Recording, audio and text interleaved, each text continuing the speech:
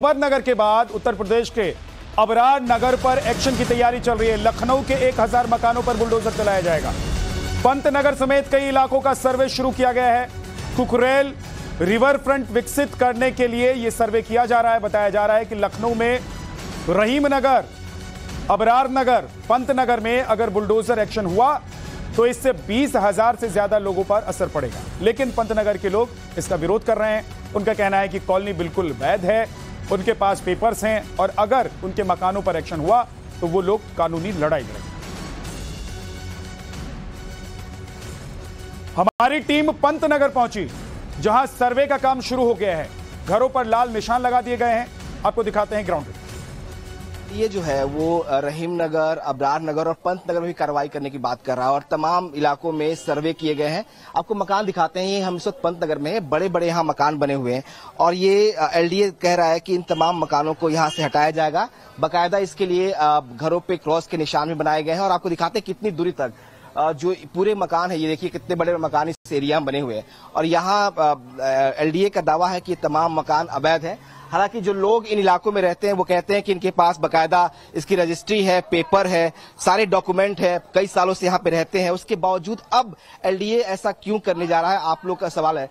आपने, आपका मकान कौन सा है? हमारा ये है भैया। ये आपका मकान है। जी और ये बताइए जो रोड बनी है वो नाले में बना रखे हैं। तो रोड क्यों नहीं तोड़वा रहे हैं जो बने बनाए घर तोड़ रहे हैं? ये बताइए हम लोग कहाँ जाएँगे? आपके पास रजिस्ट्री है हर कागज़ जो कागज़ सरकार मांगेगी वो कागज़ मैं दूँगी निकाल के। सारे कागज़ है मेरे पास। फिर सरकार ऐसा क्यों कर रही है ये बताइए हमें।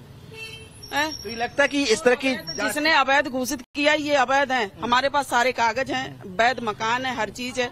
तो अवैध कैसे हो गया ये बताइए एक सेकंड ये ये देखिए इनके पास डॉक्यूमेंट है रजिस्ट्री पेपर है ये और ये इनका बड़ा मकान है और ये कह रही है कि ये लीगल है। अब अब इन्हें इतने सालों बाद अवैध किस आधार पे कहा जा रहा है जबकि सारे डॉक्यूमेंट्स है। जितनी महिलाएँ यहाँ पे हैं सबके हाथों में डॉक्यूमेंट्स है। ये तमाम लोग इस बात का विरोध कर रहे हैं कि सरकार इस तरह से जाति नहीं कर सकती। इतने सालों से इस इलाके में लोग रहते हैं पूरा एक सोसाइटी है जिन्होंने पूरे इस इलाके को बसाया है उसके बावजूद अब इन पर इस तरह की कार्रवाई क्यों हो रही है? ये सवाल परेशान कर रहा है। एक बार तस्वीरें दिखाते हैं इस पूरे मोहल्ले की किस तरह से कैसे मकान यहाँ बने हुए हैं और कैसे ये कार्रवाई हो रही है? सर्वे टीम आती है। हमारे गाजी विला घर है उसके आगे मंदिर है। पाँच मंदिर से सर्वे करते हुए आती है नाले के उधर की तरफ़ जाती है।